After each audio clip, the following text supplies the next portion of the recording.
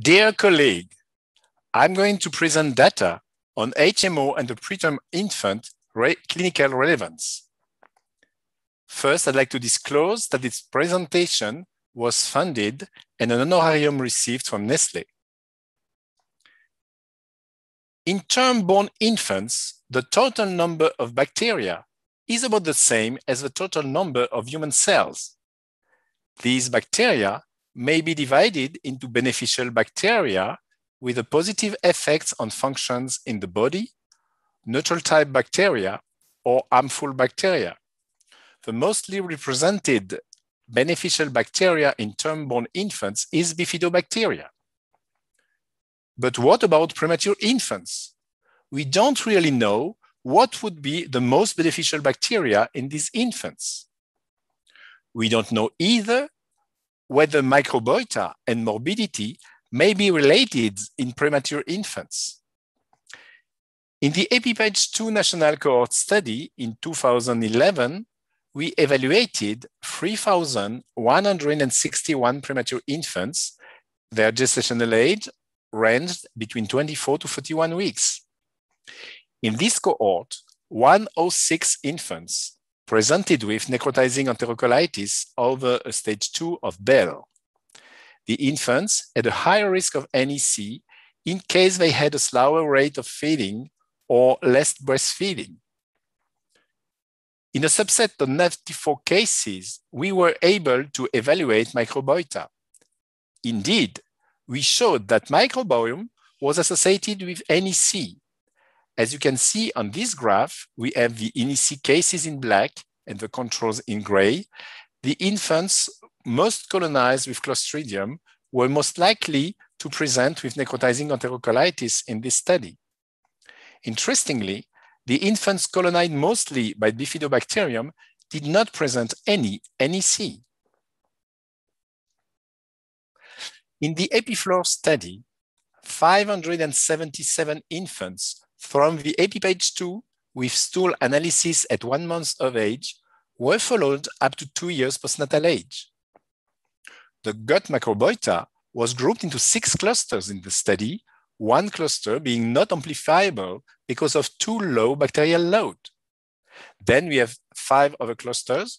The first one mostly represented with Enterobacter, the second one mostly represented by Clostridium, the third one by Escherichia coli Shigella, the fourth one by Citrobacter, and finally, the fifth one by Staphylococcus. In this study, we showed that gut microbiota was associated with NICU practices and two years clinical outcome. First thing, we demonstrated that cluster four and five was significantly from infants younger that cluster three that came from more mature infants, and that was taken as a reference for that reason. When we compared the different clusters, we observed that for late onset sepsis, skin to skin within the first week of life, or breastfeeding within the first week of life, the more mature cluster was significantly different from the Enterococcus, Staphylococcus, or no bacteria cluster for all of these parameters. When we looked at the two-year outcome with a criteria of evaluation that was DEF or neurodevelopment assessment with age and stage questionnaire below 185, again, we observed a significant and important difference between the infants who had a more mature cluster at birth, rather at one month of age, sorry, rather than Enterococcus, Staphylococcus, or no bacteria. Then we would like to modulate microbiota. Besides maturation of the infant, microbiota may be influenced by prebiotics. Among them, HMOs such as 2-fucosyllactose, have been demonstrated to beneficially influence microbiota. Human milk oligosaccharides represent up to 25% of human milk carbohydrates. They are indigestible for the stomach and the intestinal tract. They are represented from five elementary units, such as glucose, galactose, N-acetylglucosamine, fucose, or sialic acid. They are made of a core of lacto-N-biose, where is branch a uh, unit of lactose and either a unit of fucose or sialic acid. HMO are not only prebiotics. They have been shown to also have direct antimicrobial property. They may have anti-adhesive poss possibility. They may be epithelial cell modulators or even immune cell modulators. This slide shows the association between microbiota and HMO. In this study, Korpela et al. Com compared the uh, microbiota of infants born by vaginal delivery or by cesarean section. They also compare in these infants those who received HMO in their mother's milk, either when they were born vaginally or by cesarean section. The authors showed that there was no difference whether the infants received or not HMO in their mother's milk when they were born by vaginal delivery. On the contrary, there was a significant difference in favor of the infants who received HMO in their milk when they were born by cesarean section. Overall, the authors concluded that two fucosyllactose HMO in mother's milk may alleviate the effects of cesarean birth on infant gut microbiota. That study was performed in term-born infants. HMO content in human milk may be very variable. This may be due because of maternal genetics. It has been shown that the mothers may have a secretor profile for specific HMO, such as 2-fucosyllactose, or a non-secretor profile. Likewise, that has been shown that there is a significant difference when the mother delivered previously with less 2-fucosyllactose in their milk than, than they were born at term, and that lasted for three weeks. In 63 different mothers, Gabrielli and colleagues confirmed that there was some secretor mother and some mothers with non-secretor profile. They showed that uh, for specific HMO, there may be some non-detected HMO in the milk or high level. And they also demonstrated that again, for specific HMO, there may be a significant difference between the rates of the HMO in the colostrum or in more mature milk. Of note, that was really seen for specific HMO, but not all of them. Morrow and colleague showed that there may be an increased risk of necrotizing enterocolitis and late onset sepsis in 410 neonates with a gestational age of 28 weeks, ranging from 23 to 32. And in this cohort, one third of the infants had mother with a 2-fucosyllactose low secretor phenotype.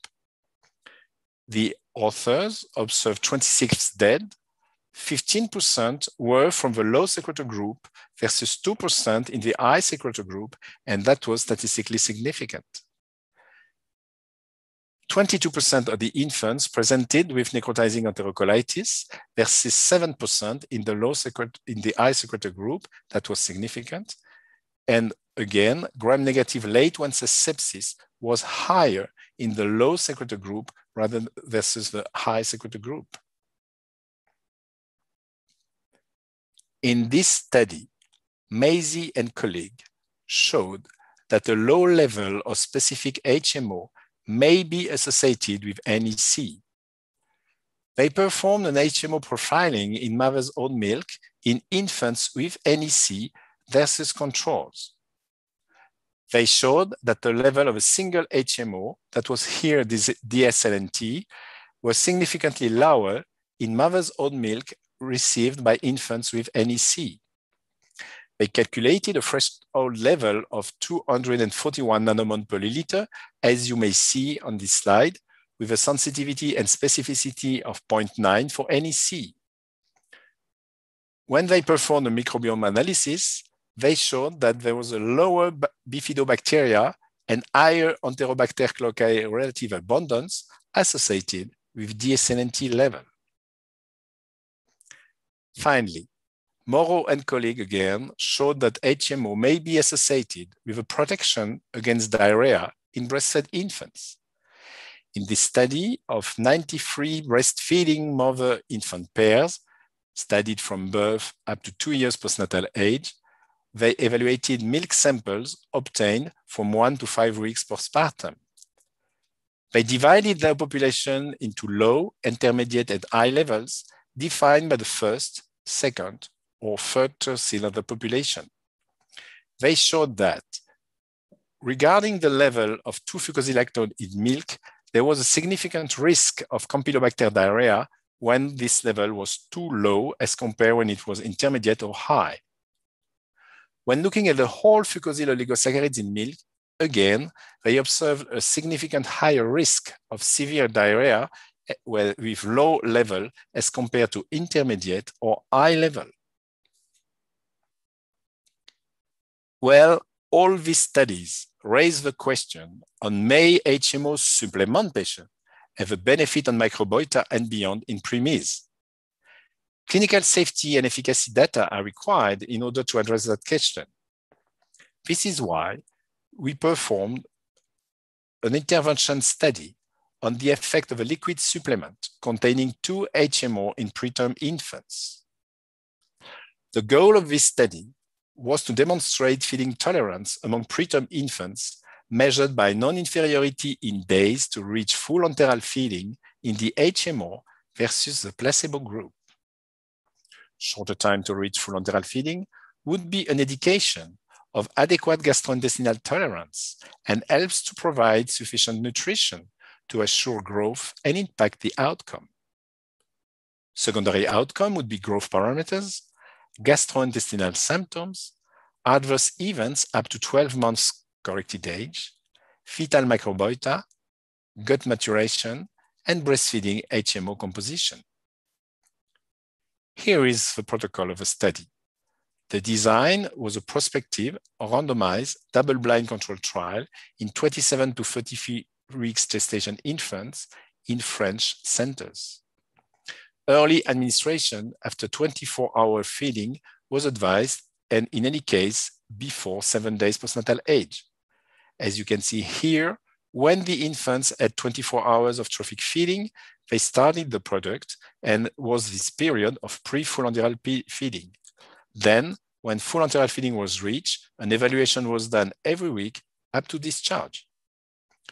Both enteral feeding volume above 150 mils per kilo per day and parenteral nutrition discontinuation was needed to define full enteral feeding.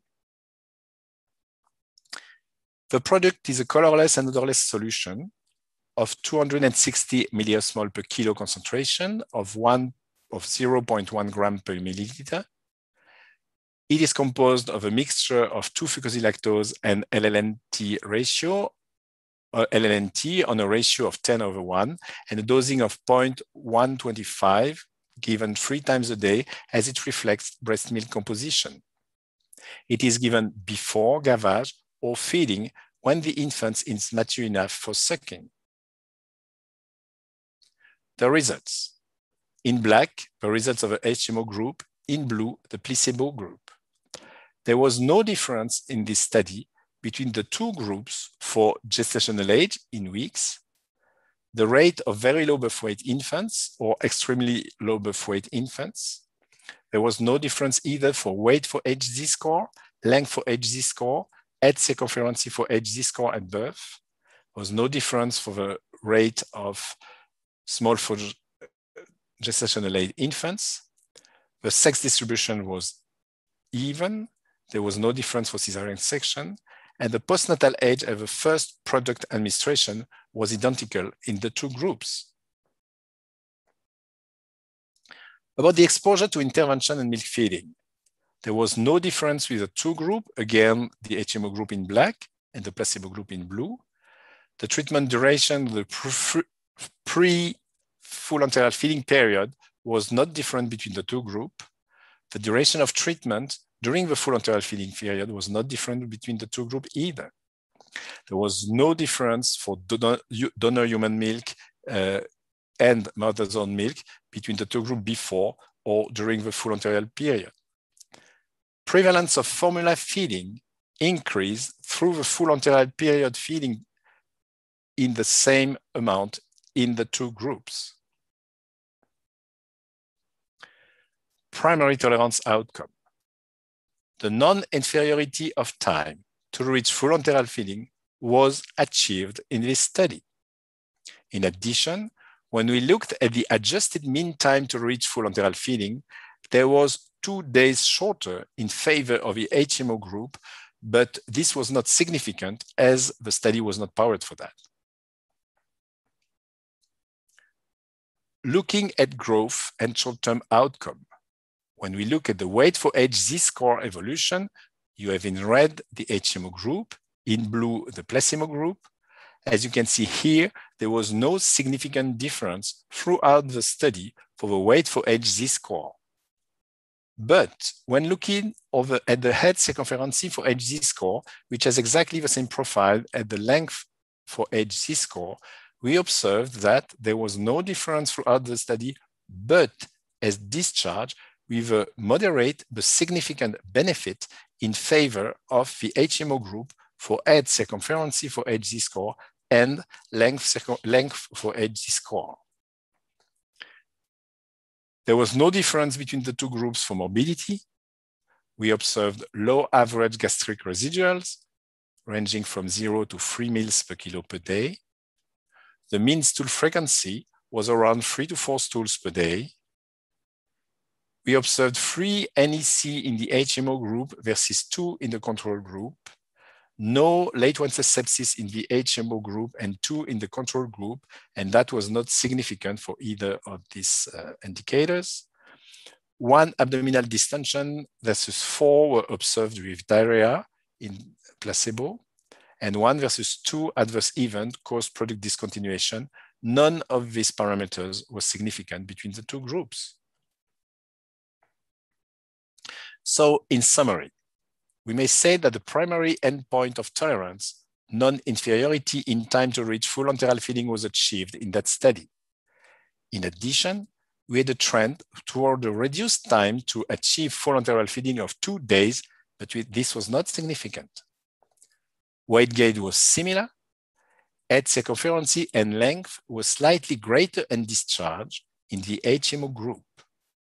So we may suggest that HMO supplement may support improved early postnatal growth.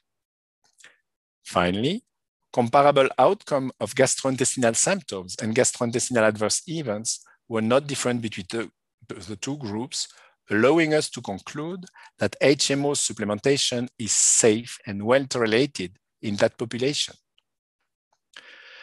So in conclusion, in premature infants, gut microbiota may show different patterns correlated with NICU practices and immaturity and may be associated with morbidity and clinical outcome.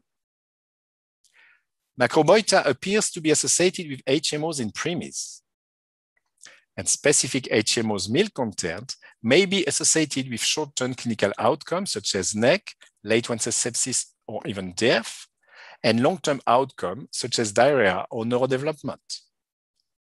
HMO supplementation, given as soon as possible after birth, is safe and well tolerated.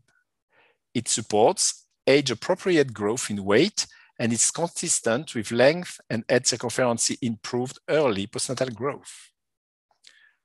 I'd like to thank you for your attention and thank the co-investigators of the study I just presented to you. Thank you very much.